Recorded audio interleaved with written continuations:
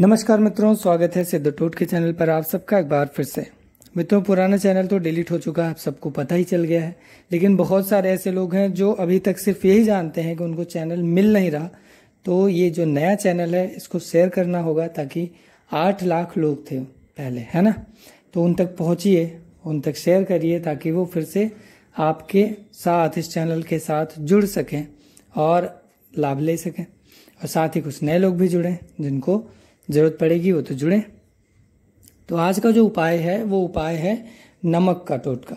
और ये जो टोटका है, ये जीवन की किसी भी समस्या से छुटकारा दिलाने के लिए आपके लिए कारगर उपाय साबित होने वाला है, क्योंकि इसके आगे बड़े बड़े उपाय भी फेल हो जाते हैं। तो ये वाला उपाय आप सबको करना है। जो भी मेरा वीडियो ये देखे, उसको ये वाला उपाय ज़रूर कर लेना है। उसकी जो समस्या है, वो समस्या ज़रूर बहुत ही जल्दी से शांत हो जाएगी।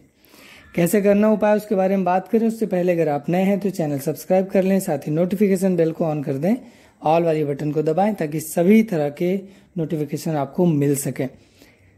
वीडियो को शेयर ज़रूर करिएगा, ताकि उन लोगों तक पहुँच सके जो या तो पुराने दर्शक रहे हैं, या फिर नए दर्शक हैं जिनको अभी तक वीडियो मिला नहीं है। तो चलिए अब उपाय के बारे में बात करते हैं। उपाय, किसी को किसी से प्रेम है शादी की समस्या है, कर्ज की समस्या है, धन की समस्या है, नौकरी की समस्या है, ज़मीन का मुकदमा है, ज़मीन की कोई समस्या है, खेती बाड़ी की बात है, कहीं किसी बिज़नेस व्यवसाय में परेशानी आ गई है, कुछ भी, कोई भी ऐसी परेशानी है तो आप इस उपाय को कर सकते हैं। कोई भी समस्या हो, मैं तो ये कह रहा हूँ, जीवन की कोई भी समस्या है, आप इस वाले उपाय को एक बार ज़रूर कर लेना, क्योंकि करना एक ही बार पड़ेगा। किसी भी दिन कर सकते हैं पूर्व या उत्तर की दिशा में मुँह करके खड़े होना है, जब भी आप इसको करेंगे। और आपको लेना है एक चुटकी नमक। खाने वाला नमक मत लीजिएगा। आपको ज़रूरत पड़ेगी सेंधा नमक की। तो सेंधा नमक एक चुटकी लेना है। अपने सर से सात बार वार करके इसको एक कागज़ की पुड़िया बना करके कहीं ले जाके बाहर घर से गाड़ देना है। घर से बाहर गाड़ना है। बाकी सारा कार्यक्रम आप अपने घर के अंदर करेंगे।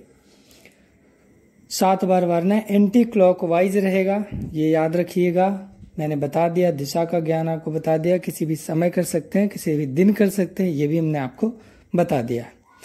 अब आपको ये ध्यान में रखना है कि उपाय करने के ठीक पहले, यानी कि जब आप उपाय करना शुरू कर रहे हैं तो आपको अपनी समस्या बोलनी है। जैसे मान लो कि मेरी कोई ज़मीन है और वो ज़मीन कहीं फंस गई है, उस पर कुछ विवाद हो गया है, उस पर और लोग दावे कर रहे हैं।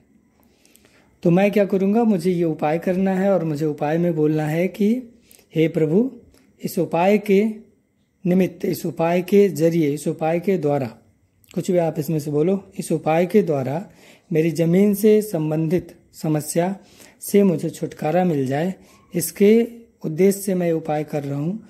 मुझ पर कृपा करें। और ऐसा बोल के अपने सर से सात बार वारिए या उसारिए जो भी आप बोलते हैं और इसके बाद इसको पुड़िया बनाए और घर से बाहर ले जाके कहीं गाड़ दीजिए। केवल इतना काम है। इसके बाद आप दूसरे उपाय जो भी करेंगे, उनका प्रभाव कई कई हज़ार गुना बढ़ जाएगा। आपको नींद अच्छी आएगी, बेचैनी नहीं रहेगी, आप शांत महसूस करेंगे। करके देखिएगा और इसका जवाब हमें कमेंट में ज़रूर बताइएगा कि आपको ये उपाय कैसा लगा और उपाय का असर आपको कैसा मिला। मिलते हैं अगली वीडियो में। तब तक के लिए नमस्कार। खुश रहिए।